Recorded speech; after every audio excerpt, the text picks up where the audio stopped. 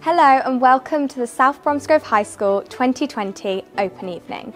Unfortunately this year we cannot welcome you into this fantastic building, but we do hope you enjoy watching the videos prepared by our staff to give you an insight on what being a student at South is truly like. We are so very fortunate to have such a modern and well-equipped building with facilities to support our broad curriculum and extensive extracurricular offers. I'm very pleased to show you around our school.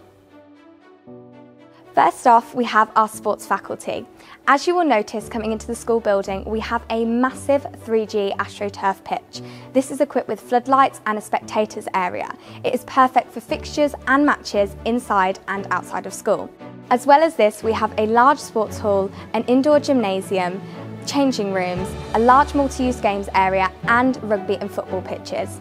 At South there are so many sports to choose from, from trampolining to badminton to basketball and so much more in PE lessons and in after school clubs. Our school is split into many different faculties, whether that be English, maths or humanities. In each of these faculties there are specific corridors with designated classrooms and at the end of every corridor there are computer clusters which are perfect for doing any homework you have or class computer work. Our science department at South is split over two floors, with the ground floor being biology and physics and the first floor being physics and chemistry. Our science labs are really well equipped with everything you'd expect to see in a modern science lab. They're great for theory and practical lessons. We have a really large design technology department at South with food tech, art, textiles, graphic design and engineering classrooms. Music is a huge part of life at South.